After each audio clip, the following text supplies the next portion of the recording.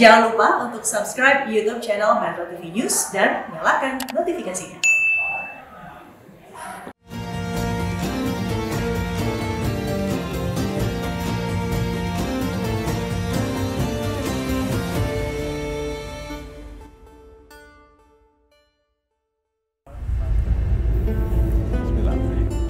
Assalamualaikum warahmatullahi wabarakatuh.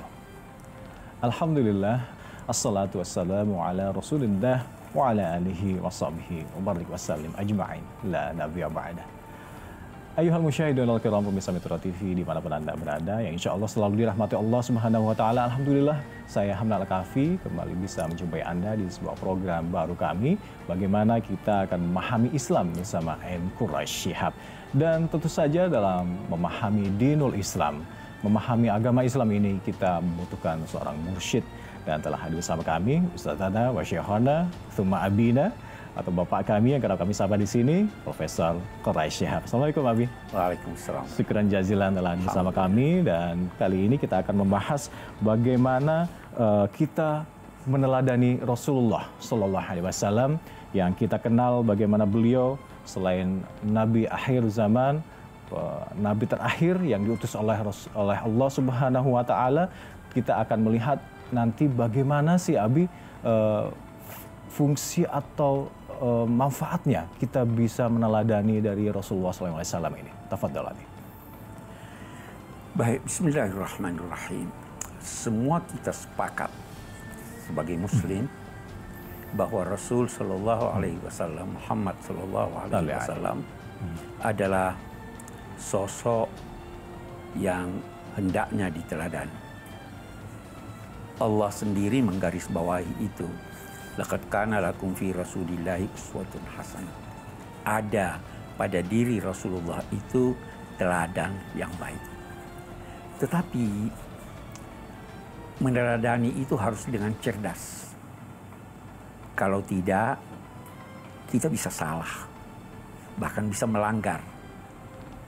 Dari sini ulama-ulama membagi sosok Nabi Muhammad itu dalam sekian kategori. Sekali beliau berfungsi sebagai rasul. Apa yang beliau sampaikan itu bersumber langsung dari Allah Subhanahu wa taala. Itu pasti benar. Kita tinggal mengikuti beliau bagaimana tuntunannya menyangkut apa yang beliau terima dari Allah Subhanahu wa taala. Yang kedua, beliau berfungsi sebagai hakim pemutus perkara. Ada dua orang berselisih, Nabi memberi putusan. Putusannya seperti ini. Putusan Nabi yang berkaitan dengan uh, ketetapan hukum bagi yang bersengketa ini khusus bagi yang bersengketa. Belum tentu buat kita karena kasus ini terjadi antara dua orang yang bisa jadi berbeda dengan Anda kasus yang Anda hadapi atau kondisi yang Anda hadapi. Ada lagi eh, fungsi Nabi sebagai mufti, pemberi fatwa. Fatwanya berlaku umum. Ada seorang datang bertanya, wahai Nabi, eh, bagaimana hukumnya suami saya eh, eh, kikir? Boleh enggak saya ambil duitnya tanpa dia ketahui? Nabi bersabda, ambillah tetapi secara wajar. Boleh. Ambil secara wajar. Ini fatwa. Kalau dikatakan fatwa, itu berlaku buat semua. Nah, ada lagi Nabi sebagai pemimpin masyarakatnya. Yang punya eh, kemajuan ilmu pengetahuannya, yang punya tradisinya, yang punya ini, sering kali Nabi memberi petunjuk sesuai dengan kondisi masyarakat. Misalnya, Nabi bersabda, Allah memerintahkan mempersiapkan eh, menghadapi musuh kekuatan. Nabi bersabda, kekuatan yang dimaksud adalah panah. Sekarang nggak bisa lagi, karena itu sesuai dengan kondisi. Ada lagi Nabi dalam kedudukannya sebagai pribadi yang berkaitan dengan Rasul. kedudukan beliau sebagai rasul dan dikaitkan dengan pribadinya. Nabi boleh menghimpun dalam saat yang sama sembilan orang istri. Jangan coba-coba turun. Itu khusus buat Nabi. Ada lagi dalam kedudukan Nabi sebagai pribadi, sebagai manusia. Beliau senang makan ini, tidak senang makan ini. Beliau itu semua tidak otomatis harus diteladani. Kita harus meneladani Nabi secara cerdas, memilih oh ini yang ini, ini yang ini, ini yang ini. Hmm. Kalau tidak, kita terjerumus di dalam kesalahan. Saya kira itu prinsip. Masya Allah. Itu uh, fungsi bagaimana kita uh, meneladani fungsi-fungsi dari Rasulullah SAW tadi.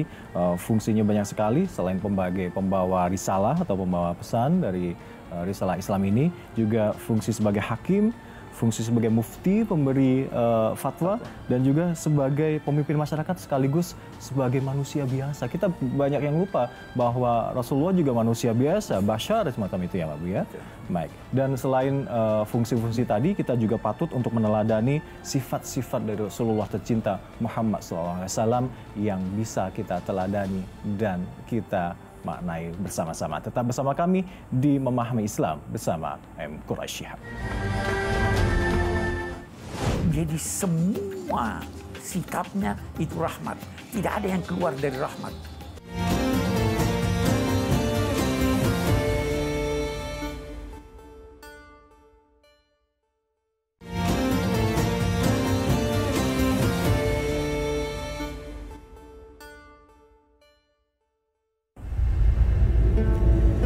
Syukur jadilah masih bersama kami di program Memahami Islam bersama M. Quraish Shihab. Dan tadi sudah kita bahas bagaimana penjelasan dari Abi Quraish Shihab terkait dengan uh, bagaimana fungsi-fungsi Rasulullah SAW yang banyak sekali yang bisa kita uh, teladani dan juga beberapa hal yang untuk kita hindarkan. Tafadol Abi untuk penjelasannya.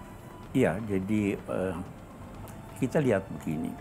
Sebenarnya berbicara tentang uh, Nabi Muhammad SAW itu tidak mungkin akan uh, terungkap semuanya walaupun kita menghabiskan waktu kita. Itu ada ungkapan bahwa yafna zamanu wa fihi malam yusafi berakhir zaman ini tapi masih ada yang belum dapat kita jelaskan. Terlalu banyak tidak mungkin terungkap semuanya.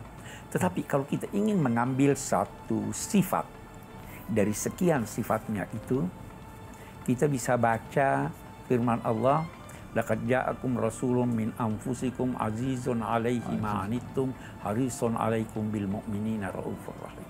Kalau ini kita persingkat, rahmat. Ana rahmatun muhda.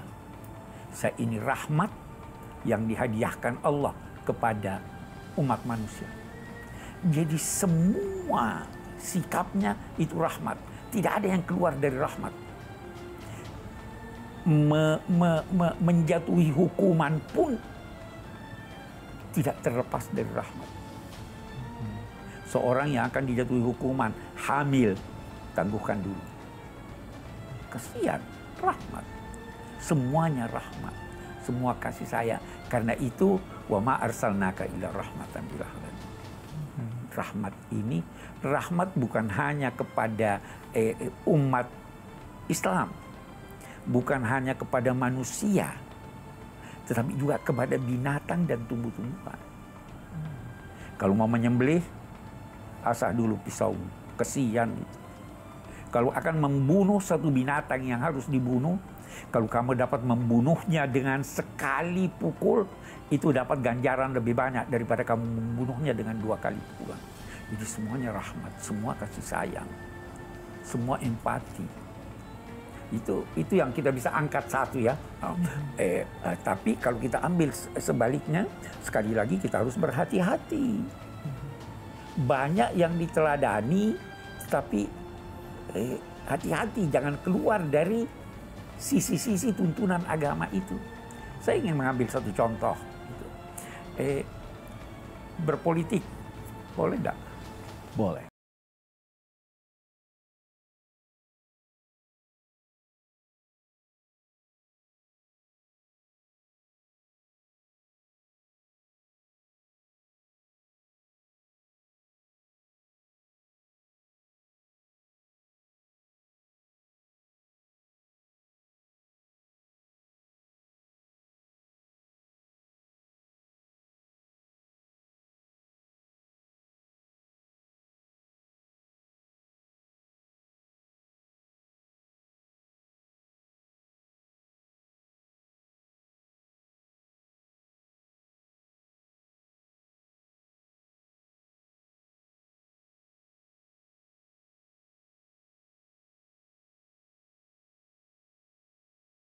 Mengelabui.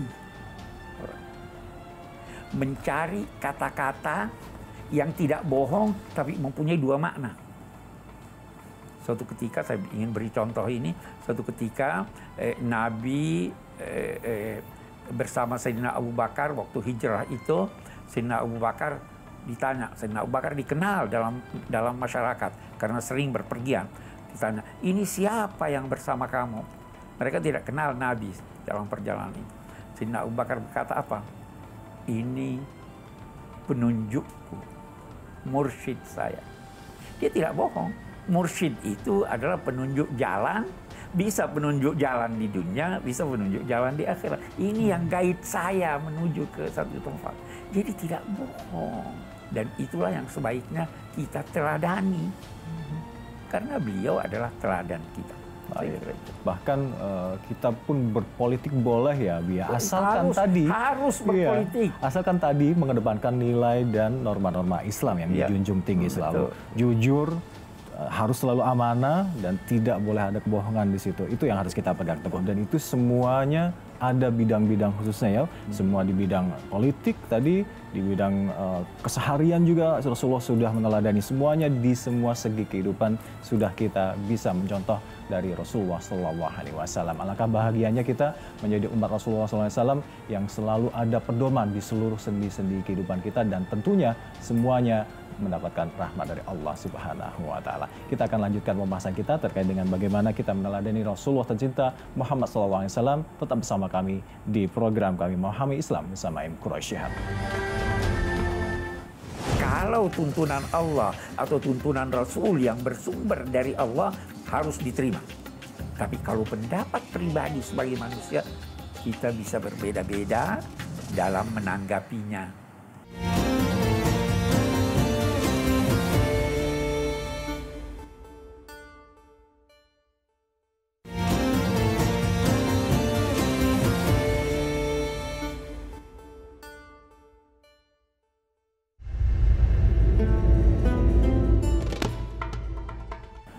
Baik, ayuhal musyahidul kiram pemirsa di mana pun anda berada, insya Allah selalu dirahmati Allah Subhanahu Wa Taala. Terima kasih masih bersama kami di program Memahami Islam bersama AM Quraisy Shihab.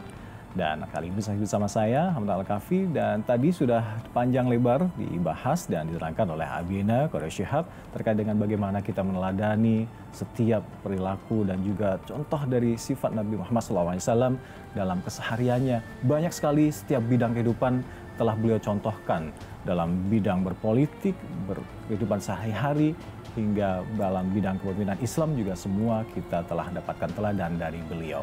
Dan saatnya kita kali ini akan membahas bagaimana pertanyaan dari teman-teman yang ada di sosial media. Abi, ada satu pertanyaan kali ini. Abi, ada beberapa orang yang memahami bahwa penghormatan terhadap Nabi atau Rasul itu dianggap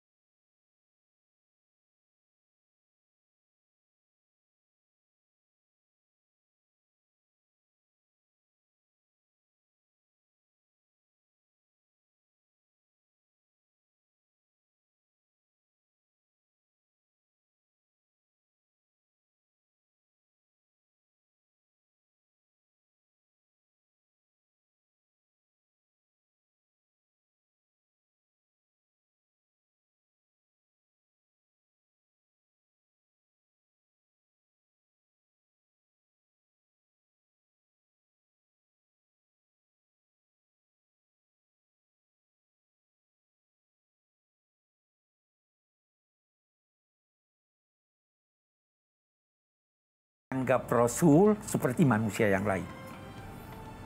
Memang Al-Quran menyatakan, sampaikan Nabi Muhammad, saya ini manusia seperti kamu, tetapi saya dapat wahyu, kamu tidak dapat. Jadi kita sudah itu yang membedakan ya. Itu yang membedakan. mislukum yuha ilayya. Nah, nah, nah. Kedudukan beliau sebagai Rasul itu tidak boleh menjadikan beliau disejajarkan dengan Tuhan. Abdullah, dia itu hamba Allah. Hamba Allah. Tetapi karena tidak boleh dikultuskan, maka sekian banyak tuntunan agama yang memberikan tuntunan agar memberi penghormatan yang wajar. Bahkan bisa lebih dari penghormatan kepada orang tua kita. Kenapa? Karena dia rasul. Tetapi itu bukan berarti bahwa Anda tidak boleh tidak sependapat dengan dia. Kalau dalam bidang pemikiran manusiawinya. Bukan dalam bidang wahyu yang dari Allah. Kalau amalia sehari-hari boleh ya? Ah, ya? nah, saya beri contoh.